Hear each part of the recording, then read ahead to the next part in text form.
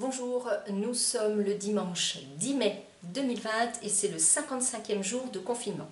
Alors, le message qui va suivre est en fait la retransmission du Facebook Live que j'ai fait quelques minutes plus tôt. Donc ne soyez pas surpris si vous avez l'impression que je ne vous regarde pas. Et oui, effectivement, je regarde mon écran euh, Facebook, celui de mon téléphone qui est un petit peu plus bas. Hein, donc euh, le message est exactement le même. Je ne vous regarde pas comme je le fais d'habitude parce que je, reste figée sur, sur l'écran de, de mon téléphone pour le Facebook Live. Mais voilà, écoutez ce message jusqu'au bout et n'hésitez pas à le partager. A tout de suite. Cri du cœur, cri d'amour. Ce lundi 11 mai sonne beaucoup comme une véritable libération. Oui, mais. Les gens qui me connaissent savent que je suis de nature très optimiste. Je vois toujours tout en rose, tout le monde il est beau, tout le monde il est gentil. Oui, mais peut-être aussi que pour moi, optimisme rime avec réalisme.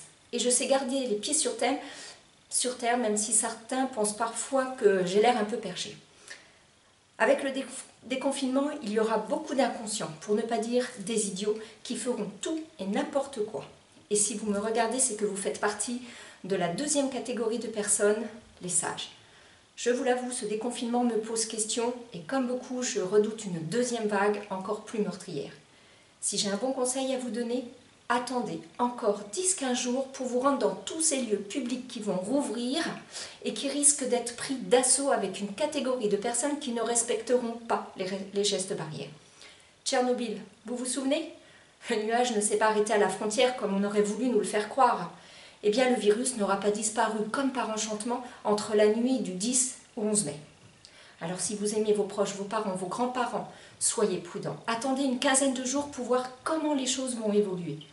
Et si vous vraiment vous avez des achats nécessaires autres que l'alimentation, respectez bien tous les gestes barrières.